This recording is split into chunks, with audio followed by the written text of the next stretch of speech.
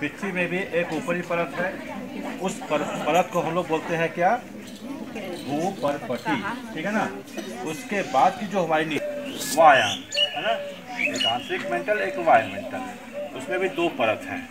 उस मेंटल के बाद जो हमारा निचला अंतिम परत है उस परत को हम लोग बोलते हैं क्या? क्रोध। सर परिषदीय विद्यालयों में शिक्षक घर घर जाके पढ़ा रहे हैं। कि कितने बच्चों को पढ़ाया जा रहा है कितने विद्यालयों में पढ़ाया जा रहा है क्या है पूरी योजना?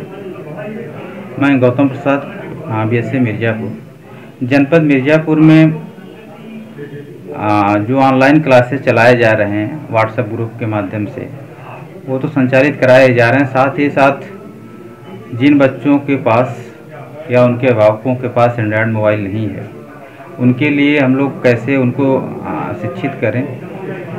इसके लिए हम लोगों ने जिन बच्चों के पास एंड्रॉयड मोबाइल नहीं है उसकी सूची बनवाए और वह अध्यापकों को रोस्टर के आधार पर लगाए कि पाँच पाँच बच्चों को जाके समूह में उनके घर उनको काम दें उनको पढ़ाएँ। इसके हिसाब से रोस्टर के आधार पे ये लोग जा रहे हैं अध्यापक लोग और जाके काम कर रहे हैं। कितने विद्यालय में सर जा रहे हैं ये सारे 1806 स्कूल परिषदीय विद्यालय यहाँ पे। हैं ये सारे स्कूलों के लिए आ, कहा गया है कि सारे बच्चे इससे लाभान्वित हों जिनके पास एंड्रॉयड मोबाइल नहीं है। और साथ ही साथ ऑनलाइन के जो प्लेटफॉर्म पे चल रहा है उसको भी पूरी तरह से उस पर भी काम चलता रहे।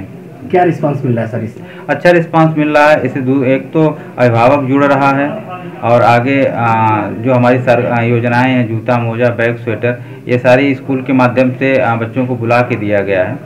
इससे और कम्युनिटी में जाने से काफ़ी अच्छा है इनका प्रभाव पड़ रहा है। जुड़ाव अच्छा हो रहा है।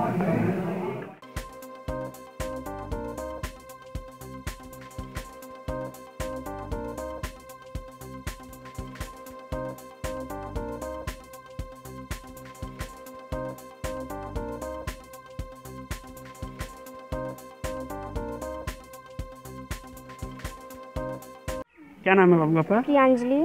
तो कौन से क्लास के हो आप? एट्थ की। ये बताइए क्यों यहाँ पे सर पढ़ाते हैं आप लोग? को स्कूल क्यों नहीं जाती हो? कोरोना की वजह से सर घर पे पढ़ाते हैं जो बच्चे टहलते थे वो पढ़ते हैं घर पे भी जाके अपना होमवर्क करते हैं रिवीजन करते हैं। सारे सर मैडम बोलते हैं घर पे बेटा पढ़ो यहाँ पे भी पढ़ो। कितनी खुशी है आप लोगों को। बहुत खुशी है। मेरा होमवर्क हो रहा है क्लास भी चल रहा है मुझे बहुत खुशी है। घर बैठने से यही अच्छा है। अच्छा लग रहा है? यस सर ठीक। बहुत बढ़िया। क्या नाम आपका? आ, मेरा नाम राघवेंद्र कुंवर शुक्ल है। सर ये बताइए कौन सी पढ़ाई आप लोग कर रहे हैं? क्यों यहाँ पढ़ाना पड़ रहा है? क्या मजबूरी है? देखिए जब से लॉकडाउन हुआ है आ, तब से लेकर के अब तक बच्चों का जो भविष्य है देखा जा रहा है कि अधर्मी है।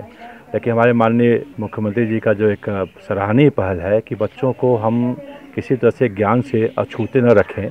इसके लिए हम लोग पूरी तरह से प्रयासरत हैं कि कहीं भी हमारे बच्चे अपने ज्ञान से पीछे न होने पाएँ। इसलिए घर घर जा कर के मेरा अपना ये उद्देश्य है कि आपका विद्यालय आपके द्वार इस तरह से हम बच्चों के पास जा रहे हैं उनके घर पे जा रहे हैं और बच्चों को पढ़ा रहे हैं। तो क्या लाभ मिल रहा है उनको और क्या गार्जियन कर रहे हैं? गार्जियन बहुत खुश हैं। उनका ये कहना है सर बच्चे जो उछल कूद मचा रहे थे इधर उधर घूम रहे थे इस लॉकडाउन में और कम से कम इसके बहाने बच्चे हमारे पास एक जगह बैठ रहे हैं और दो घंटा, एक घंटा, ढाई घंटा जो भी है, उनको हम अपना पढ़ा भी रहे हैं। उस पढ़ाने का ये फल है कि उनके अंदर ज्ञान की वृद्धि हो रही है।